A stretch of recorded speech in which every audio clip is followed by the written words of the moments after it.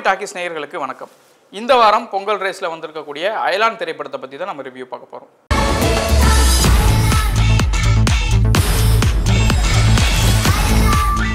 ஒரு திரைப்படத்தை எடுத்து அது ஸ்க்ரீனில் மக்கள்கிட்ட கொண்டு வந்து சேர்க்கறதுக்கு இடையில எவ்வளவு போராட்டங்களை சந்திக்கணும் அப்படிங்கிறது சினிமா துறையில் இருக்க எல்லாத்துக்குமே நல்லா தெரியும்.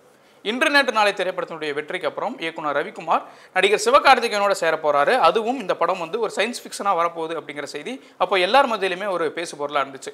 கிட்டத்தட்ட ஏழு வருஷத்துக்கு அப்புறம் அந்த திரைப்படம் இப்போ ஸ்க்ரீனில் வந்திருக்கு. இந்த ஏழு வருஷ காலத்தில் இயக்குனர் ரவிக்குமார் இந்த ஒரு படத்துக்காக எடுத்துக்கிட்ட உழைப்பும் பொறுமையும் உண்மையிலேயே பாராட்டப்பட வேண்டியது. கிட்டத்தட்ட இதுக்காக வேலை செஞ்ச அத்தனை படக்குழுவும் நம்ம பாராட்டியாகணும். ஏன்னா ஒரு திரைப்படத்தை இவ்வளவு மெனக்கெடலோட இவ்வளவு கடும் உழைப்போட இந்த திரைக்கு கொண்டு வந்து சேர்த்துருக்குறாங்க. எல்லா உயிர்களையும் நேசிக்கக்கூடிய விவசாயியாக வரக்கூடிய சிவகார்த்திகேயன் ஒரு கட்டத்தில் வந்து வேலை செய்யறதுக்காக சென்னை வராரு. இதற்கு மத்தியில் வந்து ஏலியன் உலகத்திலிருந்து ஒரு கல் வந்து பூமியில் வந்து கிடைக்குது. அதை எடுத்துக்கிட்ட ஒரு வில்லன் என்ன பண்ணுறாரு அப்படின்னா அந்த கல்லை பயன்படுத்தி பூமிக்கு அடியில் இருக்கக்கூடிய ஒரு எரிபொருள் ஒரு கேஸை வந்து ப்ரொடியூஸ் பண்ணி அதை அது மூலமாக சம்பாதிக்கலாம் அப்படின்னு நினைக்கிறாரு. இதை தெரிஞ்சுக்கக்கூடிய ஏலியன் உலகத்தில் இருக்கக்கூடியவங்க என்ன பண்ணுறாங்க அப்படின்னா அந்த கல்லை எப்படியாவது எடுத்துட்டு வான்னு சொல்லி ஒரு ஏலியனை பூமிக்கு அனுப்புகிறாங்க அந்த ஏலியன் வந்து இந்த கல்லை எடுத்துட்டு போச்சா இல்லையா? அது எடுக்கிறதுக்கு என்ன சிரமங்களை சந்திச்சிச்சு? ஏலியனுக்கு சிவகார்த்திகேயன் எப்படி உதவி பண்ணாரு அப்படிங்கிறது தான் அயலான் திரைப்படத்தினுடைய கதை. ஏலியன் தொடர்பாக நிறைய கதைகள் ஹாலிவுட்டில் வந்திருக்கு. தமிழில் வந்து அந்த மாதிரியான முயற்சிகளும் கம்மி. அதுக்கான பொருட்செலவுகளும் ரொம்ப அதிகம். அதனால் அந்த மாதிரியான கதைகளை நம்ம பார்த்ததில்ல. முதன் முறையாக ஏலியன் தொடர்பான ஒரு கதையை வந்து தமிழ்நாட்டில் கொண்டு வந்து சேர்த்ததுக்காகவே அதுவும் ரொம்ப சூப்பராக கொடுத்ததுக்காகவே இயக்குனர் ரவிக்குமாரை நம்ம பாராட்டலாம். பொதுவாக வந்து ஏலியன் கதையில் என்ன இருக்கும் அப்படின்னா ஏலியன் வேற உலகத்துலேருந்து இங்கே வந்து பூமியை அழிக்கும் அதை வந்து மனிதர்கள் காப்பாற்றுவாங்க அப்படிங்கிற மாதிரி மாதிரியான கதைகள் தான் நம்ம பார்த்துருப்போம். ஆனால் இந்த அயலானில் கொஞ்சம் வித்தியாசமாக மனிதர்கள் பூமி அழிக்கிறாங்க அதை காப்பாற்றுறதுக்கு ஏலியன் வந்து ஒன்று வருது அப்படிங்கிற ஒரு கதை. உண்மையில் வந்து இது யதார்த்தத்தை சொல்கிற மாதிரி தான் இருந்துச்சு. பூமியில் வந்து நம்மளுடைய விருப்பத்துக்காக நம்ம என்னெல்லாம் பண்ணிக்கிட்டு இருக்கோம் அப்படிங்கிற செய்திகள் நம்ம தொடர்ச்சியாக பார்த்துக்கிட்டு இருக்கோம். அதற்கு மத்தியில் இப்படி ஒரு கதை வந்து அதுவும் குழந்தைகள் விரும்பக்கூடிய கதையை வந்து அயலான் படக்குழு கொடுத்ததே வந்து ரொம்ப சிறப்பானது அப்படின்னு தான் சொல்லணும். ஒரு சயின்ஸ் ஃபிக்ஷன் மூவி அப்படிங்கிறக்காக இந்த படத்தில் வந்து நிறைய கிராஃபிக்ஸ் காட்சிகள் பயன்படுத்த வேண்டிய தேவை அப்படிங்கிறது இருக்குது அதை உண்மையிலுமே வந்து ரொம்ப சூப்பராக வந்து கிராஃபிக்ஸ் டீம் பண்ணியிருக்காங்க ஒரு அயலான் கேரக்டரை அதாவது ஒரு ஏலியன் கேரக்டரை வந்து ஸ்க்ரீனில் தெரிய மற்ற கேரக்டர்களுக்கு துருத்தல் இல்லாமல் கொடுக்கறது அப்படிங்கிறது ரொம்ப சவாலான காரியம். அதரை வந்து கிராஃபிக்ஸ் காட்சி ரொம்ப சூப்பராகவே ஒர்க் பண்ணியிருக்காங்க ஏலியனுக்கு வந்து உணர்ச்சிகள் கொடுத்தது அதுக்கு முக பாவனைகள் கொடுக்கறது அப்படின்னு ஒரு சாதாரண கேரக்டருக்கு இருக்கக்கூடிய அந்த விஷயங்களை ஏலியனுக்கும் பொருத்தி அதை ரொம்ப சூப்பராகவே கிராஃபிக்ஸ்க்குள்ளே கொடுத்துருக்குறாங்க. நம்ம யூகிக்கக்கூடிய ஒரு கதை தான். இருந்தாலுமே கூட அதை வந்து ரொம்ப விறுவிறுப்பாக கொடுக்கறதுக்கு இயக்குனர் மெனக்கிட்டு இருக்கிறாரு. நடிகர் சிவகார்த்திகேயனை பொறுத்த வரைக்கும் கிட்டத்தட்ட ஒரு ஆறு ஆண்டுகளுக்கு முன்னாடி நடித்த ஒரு படம். அப்போ அவருடைய மார்க்கெட்டுக்கு இருந்த அதே ஸ்டைலோட இப்போ திரும்பவும் அவரை பார்க்கறது அப்படிங்கிறது ரொம்பவுமே நல்லா இருக்குது. அவருமே கூட ஸ்க்ரீனில் ஒரு நல்ல நடிப்பை கொடுத்துருக்காரு இன்னொரு பக்கம் ரகுல் பிரீத்தி சிங். அவங்க வந்து ஸ்க்ரீனில் வந்து ஒரு அறிவியல் ஆர்வம் இருக்கக்கூடிய ஒரு பெண்மணியாக வந்திருக்கிறாங்க.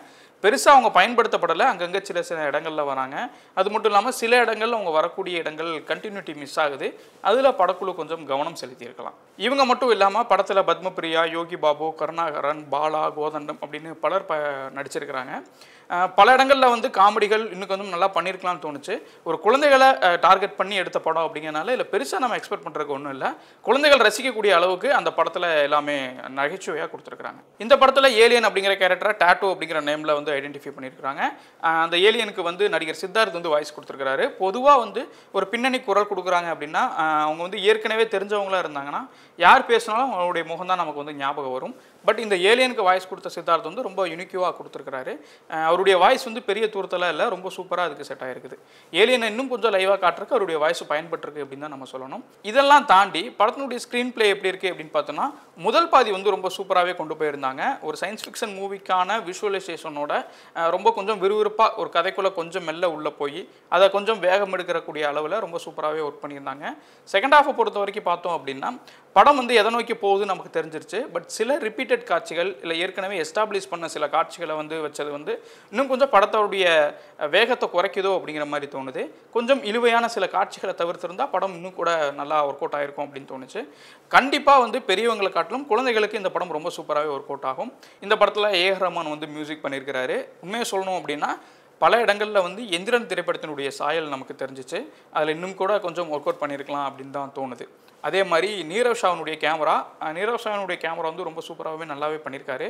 கிராஃபிக்ஸ் காட்சிகளுக்கு ஏற்ற வகையில் அதனுடைய கலர் டோன் ஆகட்டும் அதே மாதிரி அதை மேக் பண்ண அந்த விஷுவல் ஆகட்டும் ஃப்ரேம்ஸ் ஆகட்டும் ரொம்ப சூப்பராகவே ஒர்க் பண்ணியிருக்காங்க சில இடங்கள் திரைப்படத்தை பார்க்கும்போது இது ஒரு கமர்ஷியல் மூவி தான் பட் இருந்தாலும் இவ்வளோ லாஜிக் ஏன் பார்க்குறீங்கிற மாதிரி கூட நீங்கள் கேட்கலாம். ஆனால் சில இடங்களில் வந்து இன்னுமே கூட படக்குழு கவனம் செலுத்தியிருக்கலாம்னு தோணுது. ஏன் அப்படின்னா ஒரு ஊரே வந்து பற்றி எரியுது அப்படிங்கும்போது ஒரு ரெண்டு டீம் மட்டும் சண்டை போட்டுக்கிற மாதிரியான ஒரு டோன் தான் இருந்தது. வில்லன் டீம் ஆகட்டும் கதாநாயகன் டீம் ஆகட்டும் இவங்க ரெண்டு பேத்துக்குள்ள மட்டும் சண்டை வருது. ஊரே பற்றி எரியுது ஒரு அரசு தரப்போ இல்லை மக்களோ அந்த மாதிரியான எந்த ஒரு ரியாக்ஷனுமே நம்ம படத்தை பார்க்கும்போது தெரிஞ்சுக்க முடியல. அதே மாதிரி வில்லனை இன்னும் நல்லாவே ஸ்ட்ராங்காக காட்டியிருக்க முடியும். சில காட்சிகள் ஆரம்பத்தில் வரக்கூடிய ஒரு ரோபோவை யூஸ் பண்ணுற மாதிரியான காட்சிகள் வருது. அதில் ஒரு பெண்மணி சண்டை போடுறாங்க. அவங்க ரோபோவா இல்லை பெண்மணியா அப்படிங்கிற ஒரு சில டவுட் வந்துச்சு. ஸோ இந்த மாதிரி சின்ன சின்ன காட்சிகள் வந்து படத்தில் வந்து இன்னும் கூட கொஞ்சம் நல்லா கவனம் செலுத்தியிருக்கலாம். ஒரு திரைப்படம் ஏழு ஆண்டுகளுக்கு அப்புறம் வெளியில் வருது அப்படிங்கிற ஒரு எதிர்பார்ப்பு தான் படத்தினுடைய பலமும் பலவீனமும். இந்த எதிர்பார்ப்பு அப்படிங்கிறது படத்தின் மீதான ஒரு விளம்பரத்துக்கு பயன்படுத்தப்பட்டிருக்கலாம். ஆனால் அதே சமயம் எங்கே போய் ஸ்க்ரீனில் பார்க்கும்போது அது ஏமாற்றம் கொடுத்துருச்சு அப்படின்னா ரொம்ப பெரிய ஃபெயிலியராக போயிடும் அப்படி எதுவும் இல்லாமல் தொழில்நுட்பம் கிராஃபிக்ஸு விஎஃப்எக்ஸு அப்படின்னு சொல்லி எல்லாத்தையுமே ரொம்ப சூப்பராக ஒர்க் அவுட் பண்ணி அதை பார்க்கறக்கூடிய ஆடியன்ஸு கன்வின்சிங்காக வச்சுருக்கக்கூடிய அளவில் படக்குழு ரொம்ப சூப்பராகவே ஒர்க் பண்ணியிருக்கிறாங்க. குடும்பங்கள் குழந்தைகள் அப்படின்னு சொல்லி இந்த பொங்கலை ரொம்ப சூப்பராக கொண்டாடுறதுக்கு அதெல்லாம் நல்ல சாய்ஸ் இது தினமணி டாக்கேஷனுடைய ரிவ்யூ இந்த படத்தை பார்க்கும்போது உங்களுக்கும் கூட சில கருத்துக்கள் தோணலாம். அதை கீழே என்னோட கமெண்ட்டில் ஷேர் பண்ணிக்கோங்க. இந்த படத்தை பற்றின ஒரு டெக்ஸ்ட் ரிவ்யூவோ நான் கீழே லிங்க் கொடுக்குறேன். அதையும் கூட படிச்சு பாருங்கள் இந்த வீடியோ பிடிச்சிருந்தா லைக் பண்ணுங்கள் ஷேர் பண்ணுங்கள் கமெண்ட் பண்ணுங்கள் மறக்காமல் தினமணி சேனலை சப்ஸ்கிரைப் பண்ணுங்கள்